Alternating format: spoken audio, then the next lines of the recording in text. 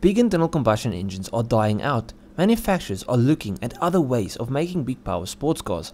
I mean, even the new Charger is going to be electric. It's sad, really. Now, Ford knows in order to compete with the competitors and meet the emission standards, they'll have to make the leap to electric or hybrid too, but not without a proper send off to the V8.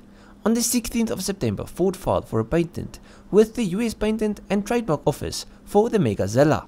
Now normally when a company files a patent we know nothing about it till they release more info. Well not this time. You see, in December 2020, Ford Performance teased the Megazilla. It was a mystery crate engine designed to be a bigger, badder version of Ford's Godzilla powertrain. Now they didn't say exactly how much power this engine will make, but they did say that this new crate engine will produce more power and torque than the outgoing Godzilla. So how much power does the Godzilla engine make? Well, it's a 7.3 litre naturally aspirated V8, so it produces around 430 horsepower and 580 Nm of torque. Now, the Godzilla is used in Ford Super Duty trucks, so they aren't made for crazy performance, they are built to work hard and produce loads of torque. Where Megazilla is a development engine by Ford Performance, so I feel it's fair to assume that it will produce some crazy power. In fact, I think Ford will most probably give the engine some form of forced induction and stronger internals to handle the boost.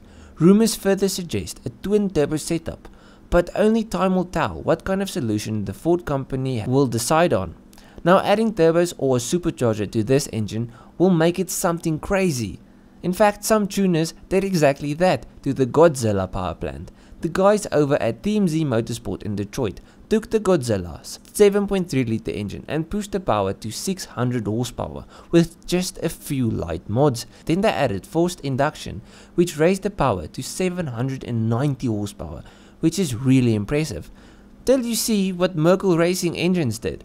They twin turboed theirs and theirs made around 1000 horsepower at 5800 rpm and their total power output was almost 1200 horsepower. That's insane. And remember Ford reckons that this new Megazilla will be bigger and badder than Godzilla. Now how can Ford produce a massive V8 engine like this? There is no way that this thing meets emission regulations. Well, the Megazilla engine will be offered as a high output crate motor from Ford Performance, allowing the company to circumvent strict emission laws required for production cars.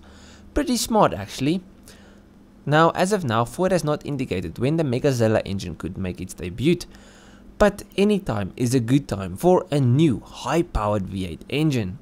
Anyways, before I end of this video, I want to show you something really interesting.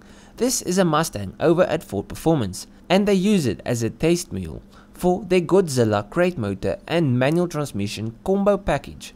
Now according to Ford, because this drivetrain runs on its own standalone ECU, it could be dropped into anything from an old pickup to a brand new Mustang. And I'm guessing the same will go for the Megazilla, so you'll be able to get any car and just buy the combo package and fit it if, if it fits. I mean that's also quite important.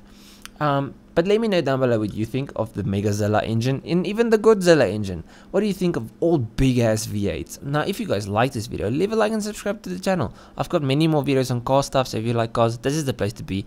Go through my channel, see if there's something else you like. I love cars, so everything on my channel is car related. So if you like cars, leave a like, subscribe, and I'll check you guys in the next one. Cheers, eh?